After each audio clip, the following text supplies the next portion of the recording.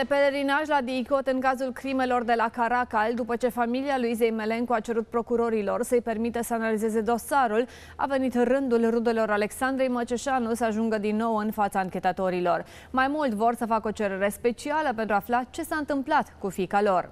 Despre ce este vorba ne spune chiar acum Roxana Ciucă în direct de la DICOT. Roxana, bună dimineața! Bună dimineața și ție, Nadina, bine v-am regăsit, doamnelor și domnilor. Am ajuns la DICOT, însă la ora 10 urmează să ajungă mai multe persoane, în speță Tonel Pop, avocatul familiei uh, Melencu, plus de asemenea Aurel Moldovan, avocatul familiei Măceșanu.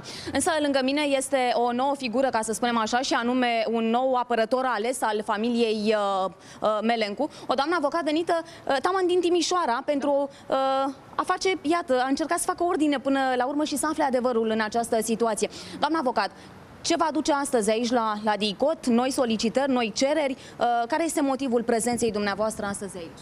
Să fiu sinceră, să fie domnii procurori oameni serioși și să-și îndeplinească atribuțiile, așa cum uh, prevede legea, să nu ne împieteze dreptul la vedea dosarul, de a vedea probele, dar să fie probe, nu maculatură pe care ne-au prezentat-o vineri când am venit cu doamna Melencu, Practic, uh, vineri ni s-a prezentat o maculatură cu act lips, uh, cu acte uh, scoase din dosar. Chiar dacă am stat în acea cameră de anchetă și am citit, eu vă spun sincer, ceea ce am găsit acolo, pur și simplu, nu m-a îngrozit ca și duritate a probelor, ci ca apă sfințită. Ce ați găsit? Ce înseamnă asta? Explicați-ne un pic.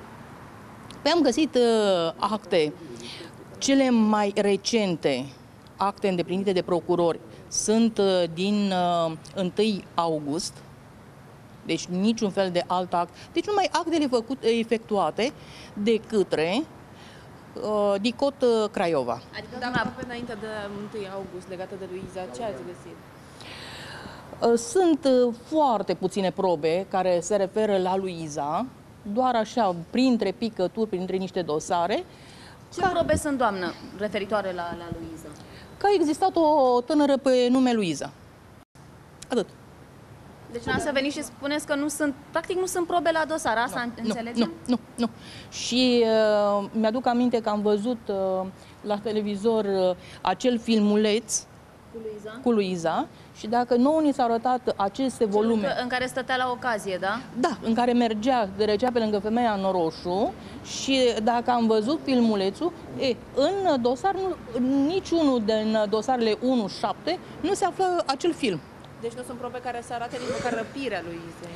Nu numai că nu sunt probe care să arate răpirea lui Izei, dar um, în probele pe care ni le-au arătat, dacă spun în uh, actele pe care ni le-au arătat, nu există nici măcar probele care au fost arătate pe uh, media. Păi și ce faceți acum? Cereți recuzarea procurorilor sau ce aveți de gând să faceți dacă nu Prima sunt, uh, dată, spuneți că nu sunt probe? Eu